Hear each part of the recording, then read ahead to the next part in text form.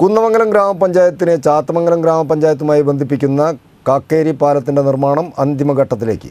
പാലം പ്രവൃത്തിയുടെ പുരോഗതി P T A Rahim M L എയുടെ നേതൃത്വത്തിൽ ഉദ്യോഗസ്ഥ സംഘം വിലയിരുത്തി.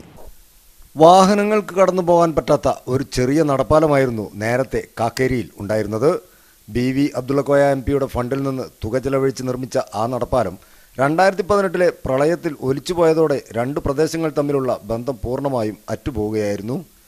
ഒലിച്ചുപോയ പാലത്തിന് പകരം ബി വി അബ്ദുള്ളക്കോയ എം പിയുടെ ഫണ്ടിൽ നിന്ന് തുക ചെലവഴിച്ച് നിർമ്മിച്ച ആ നടപ്പാലം രണ്ടായിരത്തി പതിനെട്ടിലെ പ്രളയത്തിൽ ഒലിച്ചുപോയതോടെ കുന്നമംഗലം ചാത്തമംഗലം പഞ്ചായത്തുകൾ തമ്മിലുള്ള ബന്ധം പൂർണമായും അറ്റുപോവുകയായിരുന്നു. ഒലിച്ചുപോയ പാലത്തിന് പകരം വാഹനങ്ങൾക്ക് കടന്നു പോകാൻ സാധിക്കുന്ന ഒരു വലിയ പാലം നിർമ്മിക്കണമെന്ന പ്രദേശവാസികളുടെ ആവശ്യത്തെ തുടർന്നാണ് പാലം നിർമ്മാണത്തിന് രണ്ടായിരത്തി പത്തൊൻപത് ഇരുപത് സംസ്ഥാന ബഡ്ജറ്റിൽ തുക വകയിരുത്തിയത്. തുടർന്ന് വിശദമായ എസ്റ്റിമേറ്റും രൂപരേഖയും സർക്കാരിൽ സമർപ്പിക്കുകയും ചെയ്തു.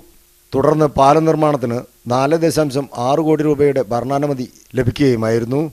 പാലത്തിന്റെ പ്രവൃത്തി ഇപ്പോൾ അന്തിമ ഘട്ടത്തിലെത്തി നിൽക്കുകയാണ്. പ്രവൃത്തിയുടെ പുരോഗതി വിലയിരുത്തുന്നതിനാണ് ഉദ്യോഗസ്ഥരോടൊപ്പം P T A Rahim M L A സ്ഥലം സന്ദർശിച്ചത്. കുന്നമംഗലം ഗ്രാമപഞ്ചായത്ത് standing committee ചെയർമാൻമാരായ Chandran Thiruvalath U C Preethi member T Sivanandan പൊതുമരാമത്ത് പാലം വിഭാഗം chief engineer M Ashok Kumar superintending engineer P K Mini executive engineer B Ajith Kumar assistant executive engineer N V Shini assistant engineer N Baiju തുടങ്ങിയവരും M L എക്കൊപ്പം ഉണ്ടായിരുന്നു news bureau Kunnamangalam.